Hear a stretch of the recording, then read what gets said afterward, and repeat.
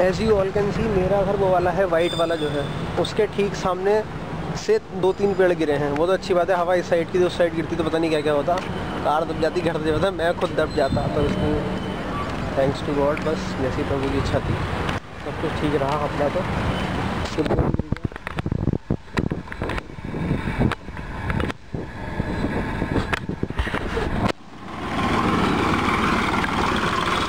तो ये ट्रैक्टर वाला बड़ा खुश हो रहा। है करा भाई, हाथ को दावा तो भाई, पेड़ काट काट के सारे मैं ही ले जाऊँगा। ये होर्डिंग है सामने गिरा हुआ है।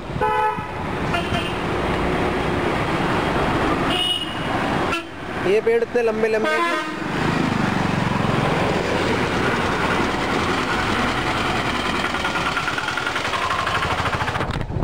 कि वाला पेड़ गिरा हुआ है, कम से कम 100 या 150 फीट का तो होगा। तभी इतनी दूर आके गिरा है, मेरे घर से चौधरी चरण सिंह चौक पूरा पार कर दिया। लोकेशन है मुरादाबाद। ये देखो, ये वीडियो बना रहा है। ये, पर अपने को तो क्या, अपने को तो वीडियो यूट्यूब पर डालनी है, थोड़ी डालनी है कहीं। ये भी व्हाट्सएप के स्टेटस पे तो लगा ही देंगे। और अभी सनराइज़ कहीं, यहाँ कहीं से होगा।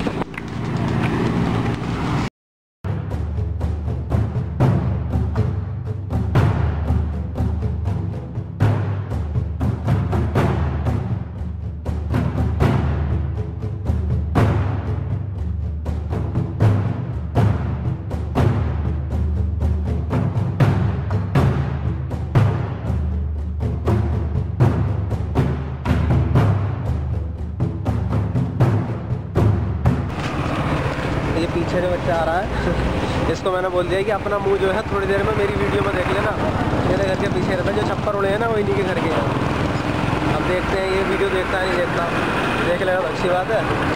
नहीं देखेगा तो और भी अच्छी बात है। भागा भागा भागा।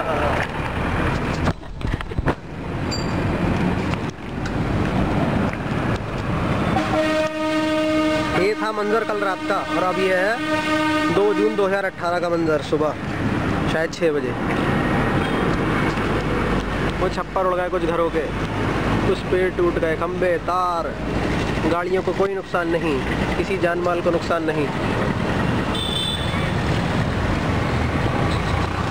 पूरे चौधरी चरण सिंह चौक पे तबाही का मंजर।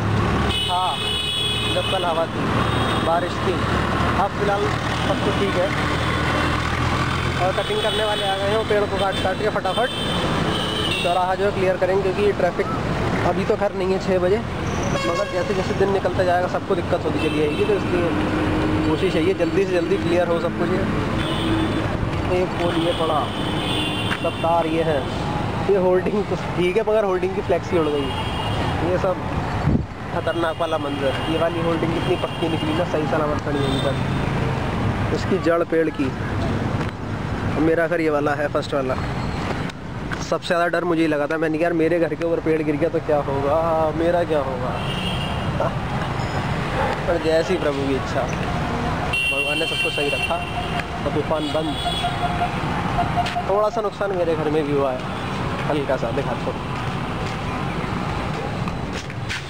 ये शेड है। ये देखते फ्लेक्सी किस तरीके से फट के ऊपर चली गई है। अब मुझे ये आज बांधनी पड़ेगी। जैसे भी करूँगा, लोहे के तार से या फिर कुछ ना कुछ इंतज़ाम करना ही पड़ेगा। हाँ टूट गई। वाकई में आंधी कल बहुत तेज थी। अब कुछ नहीं है।